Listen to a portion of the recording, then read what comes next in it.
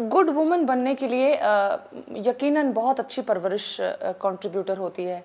तो परवरिश की बात हुई है तो बचपन में मुझे आप जरा ले चलो।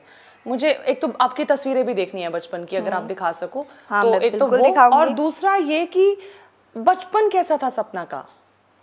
बचपन आई थिंक जब मैं एट्थ स्टैंडर्ड में थी 2008 की बात पैदा कहाँ हुई थी? पैदा मैं मेरी मम्मी बताती है मेरा बर्थ प्लेस महीपालपुर है। अच्छा। मैं महीपालपुर में मेरे ताई जी के घर पे पैदा हुई थी। हम born bottom Delhi Wikipedia normally झूठ बोलता है। तभी मैं उस पर भरोसा नहीं कर रही हूँ और मैं अपने दर्शकों को भी बता दूँ कि मैं आज सा, सारा कुछ यही पूछ रही हूँ। मैं पहले से कुछ प्रेप करके नहीं आई हूँ बिकॉज़ मैं भी सपना को जानने आई हूँ। विकीपीडिया जिसने भी बनाया मुझे नहीं पता। नॉर्मली मैंने नहीं बनवाया था। क्योंकि मुझे लगता है कि वहाँ से इंफॉर्मेशन निकालना शायद बहुत इजी है लेकिन जो हम खुद बताएँगे वो ज़्यादा इम्पैक्ट right. दूसरों में डालता है। तो मेरी मेरा बर्थ प्लेस वहीं पालपुर है बॉर्न बॉटम मैं दिल्ली की हूँ मेरा परवरिश जितनी भी हुई है दिल्ली में स्कूल भी मेरे दिल्ली में रहे हैं। लेकिन मेरी माँ प्रॉपर ठेठ हरियाणवी है तो गुड़गांव से है और गुड़गांव हरियाणा का यूँ वो बोलता है ना बिजलियाँ वहाँ पैदा होती हैं। तो शायद उनका थोड़ा वो है। और रिप्रेजेंट शुरू से ही हरियाणा को करती हूँ। हरियाणा से एक तरीके का लगाव है इसकी बोली से। नॉर्मली जैसे हम बातचीत करते हैं तो काफ़ी बार मैंने महसूस किया कि हरियाणा के ही लोग स्पीचलेस हो जाते हैं। मतलब फिकनेस जो आ जाती है लोगों में अपनी बोली को रिप्रेजेंट करने से डरते हैं। लेकिन हरियाणा की जो लैंग्वेज है अगर आप इसको अच्छे से लोगे हम तेज ज़रूर बोल सकते हैं हम लाउड ज़रूर है लेकिन हम कभी गलत नहीं हैं। हम बड़े प्यार से बात करने की कोशिश भी करें हम तब भी नहीं कर सकते because we are always loud right कभी कभी मुझे भी ऐसा फील होता था कि मम्मी डांट रही है मम्मी प्यार भी करती तो, तो खा ले ना। तो उनका जो वो खा ले ना होता था ना वो वो प्यार से ही बोलती है। Right. लेकिन ये हमें एक्सेप्ट कर लेना चाहिए कि हम लाउड हैं। प्यार हम उतना ही करते हैं। हमारी तहजीब वही है। जैसे जितनी तमीज से आप बात करते हैं उतनी तमीज से हम करते हैं बस हम लाउड ज़्यादा है। और कुछ नहीं।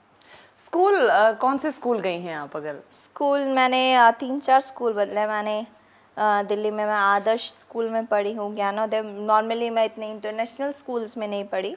बड़े छोटे छोटे स्कूल ये में पढ़ी यही यही आपके जो फैंस हैं उनको जानना चाहिए क्योंकि स्कूल बेसिकली किस लेवल का है वो तय नहीं करता है आपका मैार क्या होगा। आपने कभी ये बात नोट नहीं की। अब जैसे मेरे भांजे दोनों स्कूल जाते हैं और मैं टेक्नोलॉजी देखती हूँ आजकल डिजिटल कितना स्ट्रांग है। जैसे उनका होमवर्क फ़ोन पे आता है कोई कल्चरल इवेंट है फ़ोन पे आता है उसकी माँ को डे टू डे अपडेट मिलती रहती है। कि आज मेरे बच्चे ये कर रहे हैं आज उनका प्रेजेंटेशन है आज ये है आज वो है। नॉर्मली मैं दो चार दिन पहले उनके स्कूल में भी गई थी डांडिया नाइट थी। तो मतलब मैं कभी कभी सोचती हूँ यार ये फैसिलिटीज़ हमें उस दौरान मिलती तो आज तो हम कुछ और ही होते। एग्जैक्टली अ, मतलब आज तो हमने फिर दुनिया का मैं वही बात है कि हमने लावा पैदा कर देना था हम तो बाहर निकल जाते। तो कभी कभी दुख भी होता है लेकिन जिन स्कूल जो उस टाइम के स्कूल थे आज जो नॉर्मली लड़कियाँ लड़कों से बात कर लेती हैं नॉर्मली उस टाइम होता नहीं था। हमारी टीचर तो हमें पनिशमेंट के तौर पे बोला करती थी। कल अगर काम कंप्लीट नहीं किया तो मैं लड़कों के साथ बिठा दूँगी। बिल्कुल। तो वो एक डर सा हो जाता था. लेकिन अब नॉर्मली हो गया। पर ये जो दौर है मेरे ख्याल से ये ज़्यादा अच्छा है कि आप नॉर्मली सबसे बात कर सकते हो आपको डर नहीं है कल्चरल इवेंट्स होते हैं और मेरे ख्याल से स्पीड हो गई है पूरी मतलब दुनिया इतनी स्पीड से आगे बढ़ रही है ना कि माँ बाप को बच्चों के लिए वक्त ही नहीं मिल पा रहा। जो स्कूल के इवेंट्स होते हैं वो भी शायद अब इसलिए ऑर्गेनाइज होने लगे वरना उस टाइम तो माँ बैठ के होमवर्क कराती थी।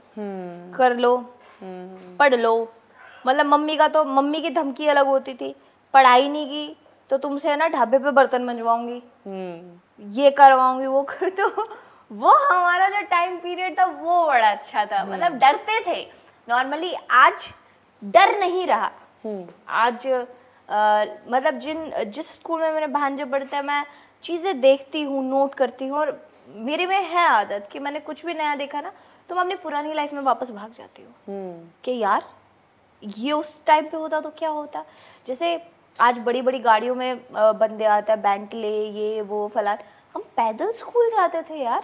पैदल स्कूल से आते थे हमें पता था हमारा पौना घंटा ट्रेवल का लगेगा। इनका पर चैनल को सब्सक्राइब करें और बेल आइकन दबाना ना भूलें।